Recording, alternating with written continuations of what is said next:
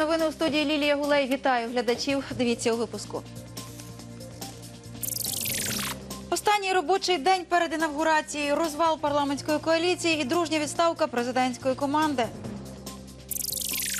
Вкрадений Крим історія депортації до 75-х роковин геноциду кримських татар у столиці візуалізують страшні події інсталяціями. Музейники готуються до професійного свята. Що цікавого і безкоштовного буде у столичних музеях для відвідувачів. Дні Європи вже почали святкувати. На Михайлівській площі зіграли історичний спектакль про життя онуки Ярослава Мудрого. Дружня відставка команди президента. Про звільнення сьогодні заявили десятки чиновників, дипломатів, суддів, голів ОДА і силовиків. Подав у відставку голова адміністрації президента Ігор Райнін. Раніше звільнився і його заступник Костянтин Єлісєєв, а також написали заяви заступники Віталій Ковальчук та Олексій Філатов. Про складання своїх повноважень заявила представник президента у Верховній Раді Ірина Луценко і відзвітувала про роботу у парламенті. У відставку подає міністр закордонних справ Павло Клімкін. Заяву в понеділок направлять на підпис до парламенту та новообраного президента Зеленського.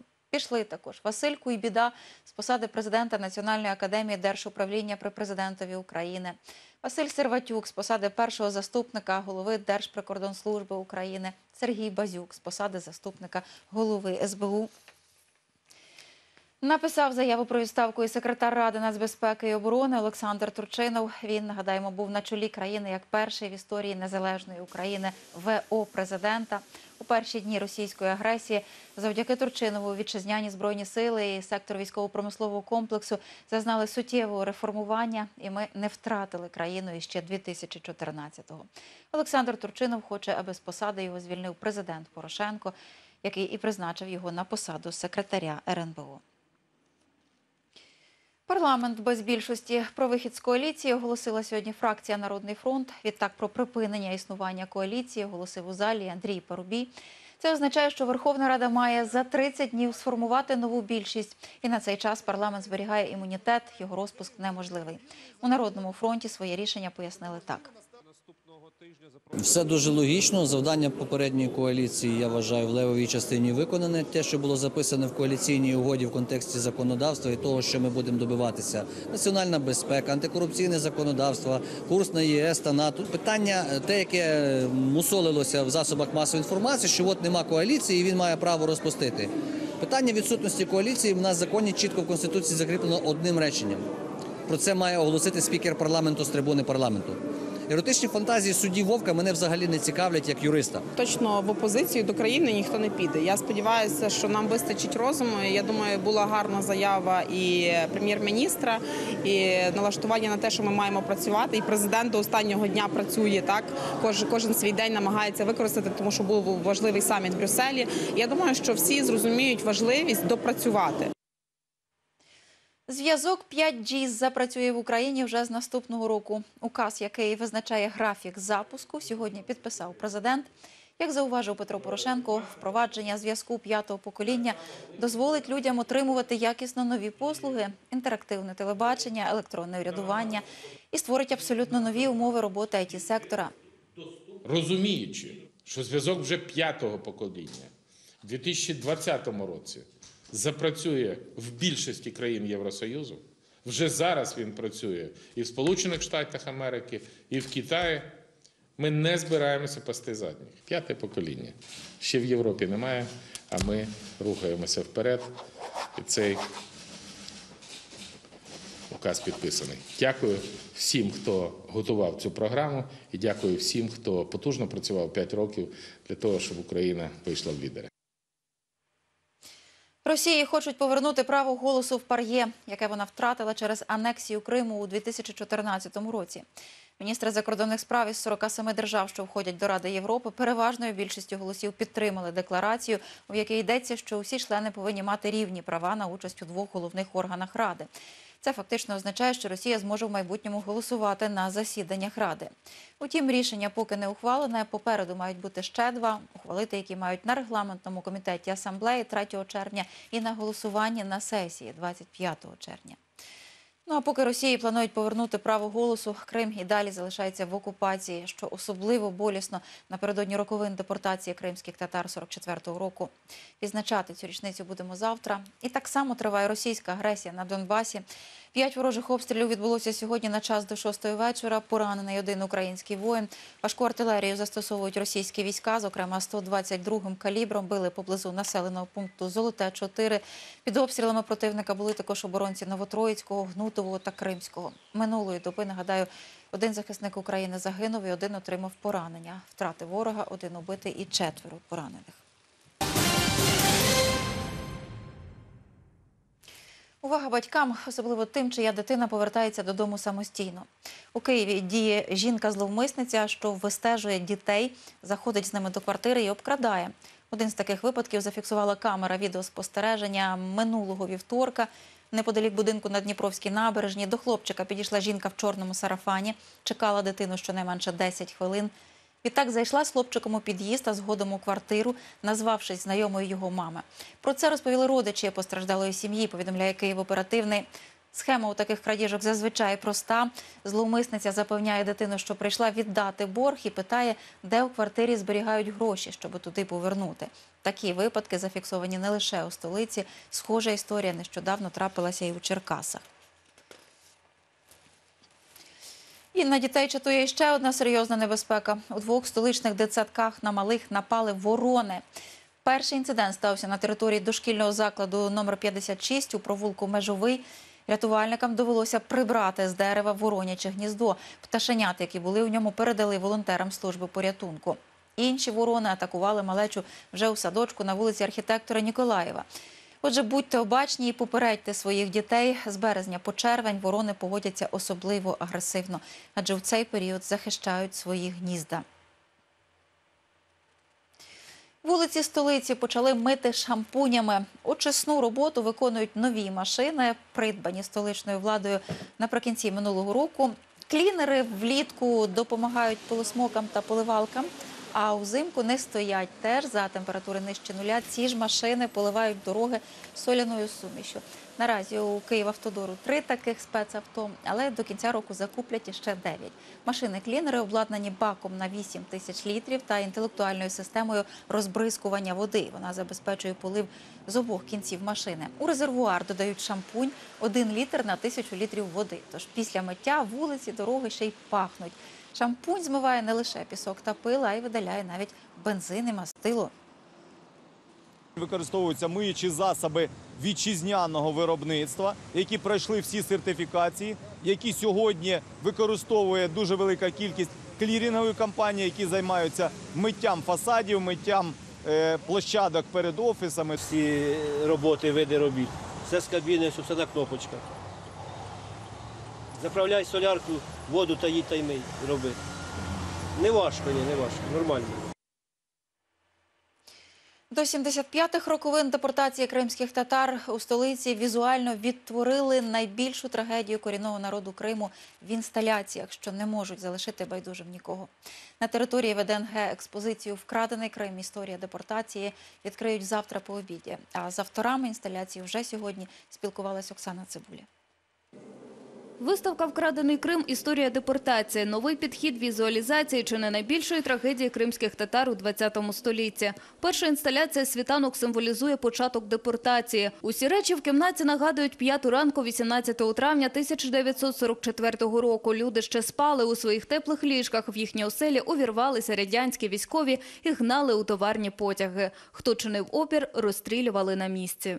Ось ця от емоція раптового пробудження, стресу, страху, відчаю, які е, власне відчували або могли переживати люди, він відображений тут. Єдине, що буде тут доповнено, це відеозаписи тих людей, які пережили цю депортацію і які прожили життя вже на депортованих територіях.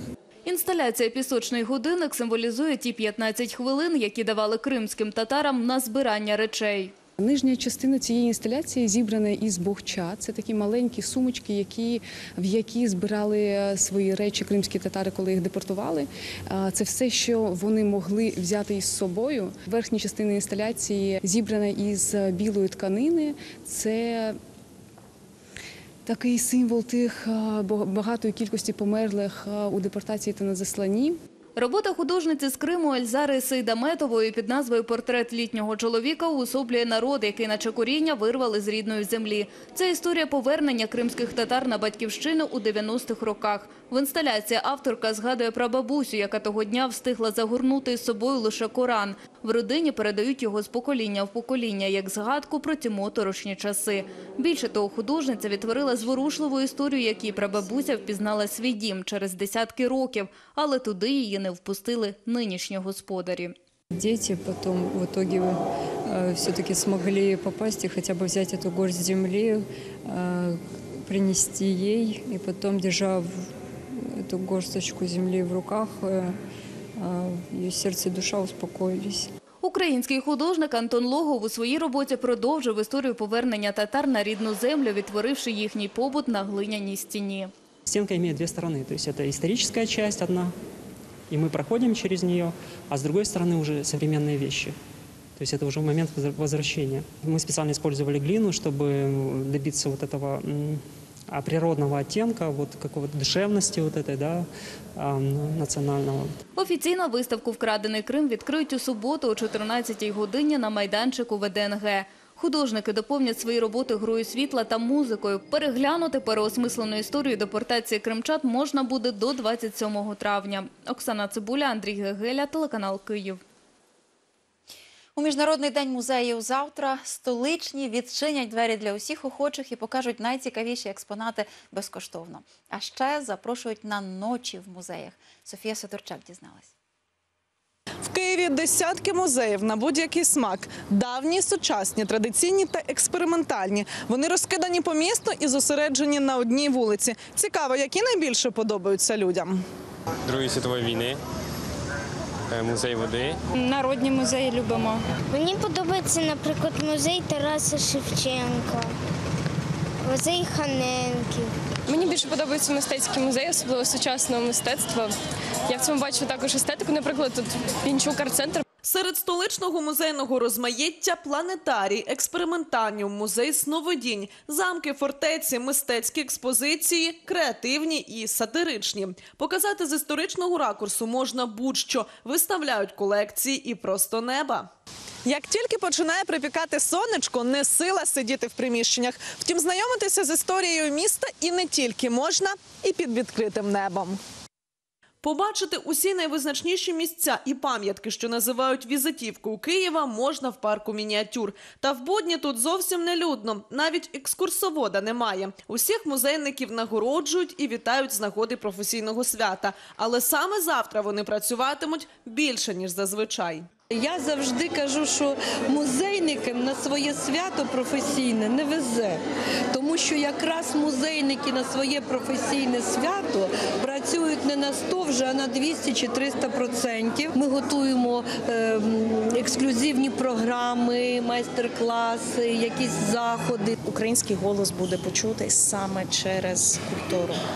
І музей в цьому займає досить провідну участь, адже всі артефакти, архівні матеріали, раритети, е, експозиції, які складають велику основу наших музейних проєктів, це все є надбання нашого народу. Традиційно в міжнародний день музеїв відвідувати їх можна безкоштовно. Тож є можливість спланувати плідний естетичний вихідний.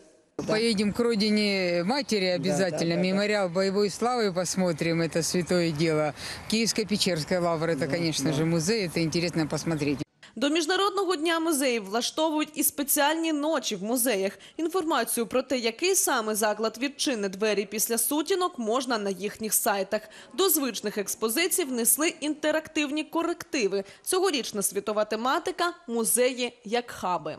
Завтра з 12.00 кожної години у нас буде якийсь наш музейний захід. От е, інтерактивна екскурсія, чи квест, чи музейне заняття. От так що приходьте самі, приводьте своїх друзів, дітей. Софія Содорчак, Олександр Гончаренко, телеканал Київ. І Дні Європи відзначаємо цими вихідними. Почали святкування вже надвечір п'ятниці на Михайлівській площі столиці у рамках п'ятого міжнародного фестивалю «Енде Київ Фест». Урочисту частину свята відкрили виставою Едігна. Це історичний спектакль про життєвий шлях доньки Анни Київської та Генріха І, онуки князя Київського Ярослава Мудрого. Французьку принцесу з українським корінням оголосили святою в Баварії у маленькому містечку Пюх, що стало історично спорідненим із Києвом. Тож головна ідея вистави полягає в тому, аби нагадати, що Україна колись була частиною Європи і знову туди крокує. Вистава є епічним таким відображенням долі е, е, доньки Анни Київської, знаменитої Ідірни, німецької святої, яка в Баварії е, була оголошена святою, яка за своїм статусом дорівнює одне з найбільш чтимих німецьких святих. Наша головна мета і задача показати, що Україна не йде в Європу, а Україна в неї повертається. Святкування Днів Європи завтра розпочнеться від самого ранку. Усе найцікавіше будемо висвітлювати. Будуть стріми подій, прямі включення, спілкування з учасниками свята з 9 ранку до 9 вечора що 2 години. І зауважимо, через масові святкування змінюється рух громадського транспорту у центрі столиці. Буде перекритим проїзд на Михайлівській та Софійській площах. Прощаємось на цьому. Спасибі всім, хто дивився. Спокійної ночі і гарного відпочинку перед вихідними.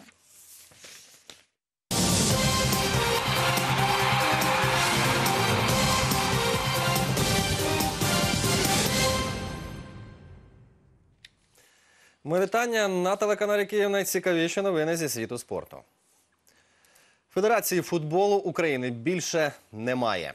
Організація змінила назву. Відтепер головний футбольний орган країни називатиметься Українська асоціація футболу УАФ.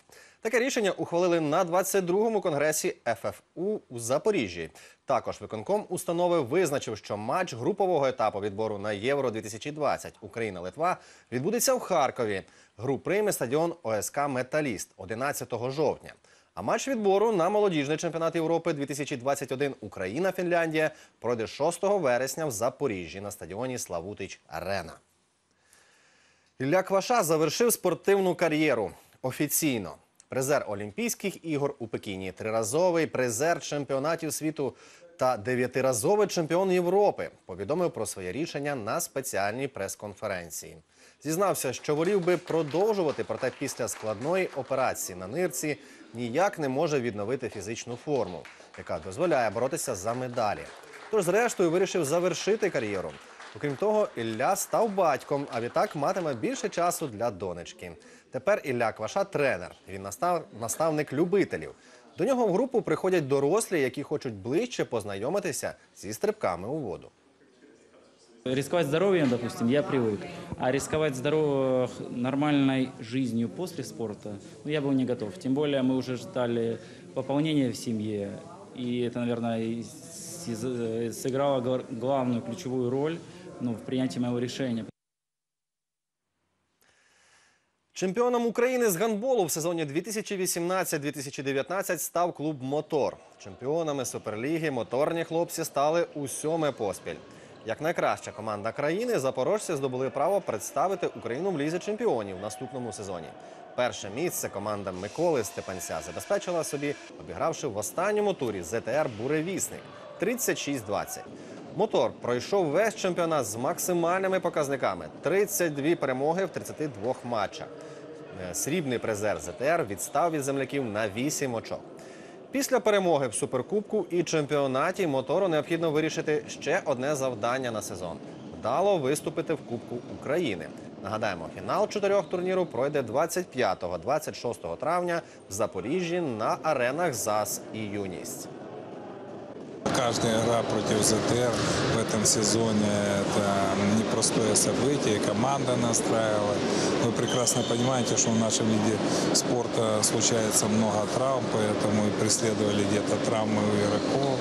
Поэтому кто кто-то отсутствовал в этих играх, тем не менее команда сконцентрировалась, настраивалась на игры. Мы сейчас есть как бы 10 дней для подготовки, подготовиться, залечить все, подготовиться к э, полуфиналу, следом потом к финалу Кубка и выйти сделать, опять же, как говорится, золотой дубль и выполнить все задачи, которые ставит перед нами руководство. І це було останнє повідомлення випуску. Вболівайте за українців і будьте здорові.